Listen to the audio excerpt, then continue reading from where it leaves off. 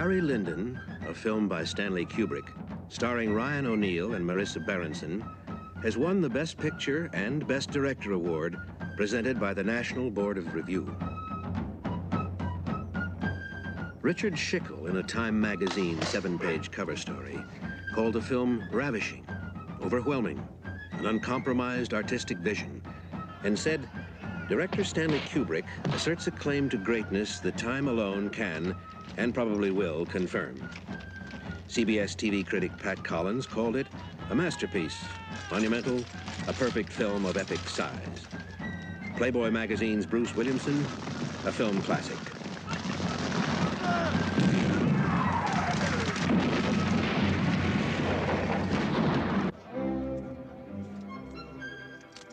Rex Reed of the New York Daily News wrote, As an 18th century rake's progress, Barry Lyndon catalogues the rise and fall of a likable scoundrel, liar, cheat, and social climber, transporting the viewer into a world of long ago and creating the kind of magic few movies accomplish and few directors attempt in a lifetime. It is a magnificent entertainment, sumptuous, lush, gorgeous, and haunting, a classic of inestimable value.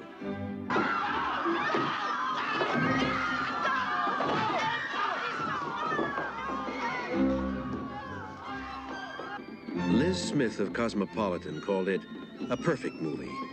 Beautiful, breathtaking, brilliant. Like a gorgeous, fulfilling dream of life, a dream you never want to end. It is not comparable to any other film I can recall. I ask you to turn yourself over to the experience. Barry Lyndon, a film by Stanley Kubrick based on the novel by William Makepeace Thackeray, starring Ryan O'Neal and Marisa Berenson.